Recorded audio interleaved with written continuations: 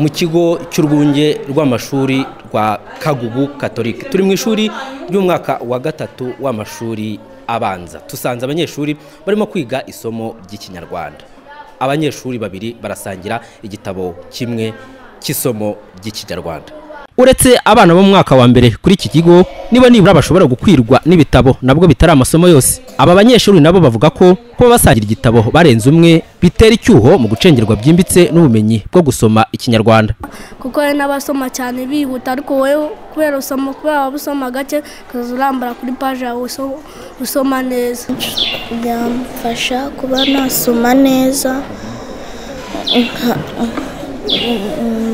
nkazatsinda mu rindi shuri ry'umwaka wa gatatu dusanze bo barimo kwiga isomo ry'icyongereza.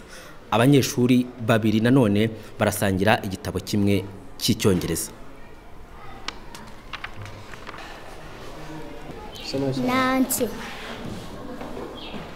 darayiva dogita umwe mu banyeshuri wo mu mwaka wa gatatu wo mu rwunge rw'amashuri rwa kagugu gatolika arimo kugerageza gusoma icyongereza. Ariko ngo hari ibimugora. Avuga ko aramutse afite igitabo cye cyihariye ngo byamufasha kurushaho.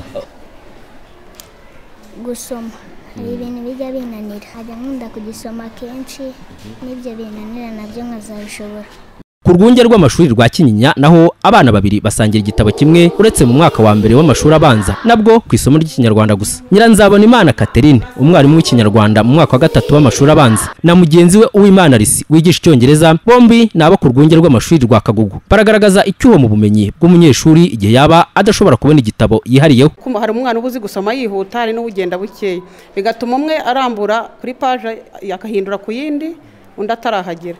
Umwana iyo ajyanye ikintu mu rugo nk'ubu mu mashuri turabibaha ukabona afite ubushake bwo gushakisha umwanya ukaba mutoya. Mbere yo gutangira umwaka w'amashuri wa bibiri na cumi n'icyenda ikigo cy'igihugu gishinzwe uburezi reb cyavuze ko uzatangirana no kuba buri mwana wiga mu mashuri abanza. Kuva mu wa mbere kugeza mu wa gatatu hateganijwe uburyo bwo kubona ibitabo buhagije. Dr. Rene ndayambaje ayobora reb.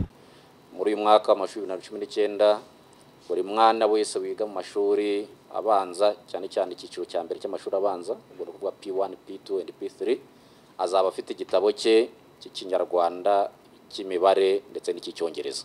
Abarezi bavuga ko iyi gahunda iramutse ishyizwe mu bikorwa yashyira inyongera igaragara mu kuzamura ubumenyi bw'abana mu gusoma no kuvuga neza indimi. Mushimiyimana aime beata ayobora urwunge rw'amashuri rwa kinyinya. Naho ugira umurera posien ni umuyobozi wungirije ushinzwe amasomo kuri gs kagugu. Igihe umwana abana n'imfashanyigisho akomeza gucengerwa neza n'ibyo yiga.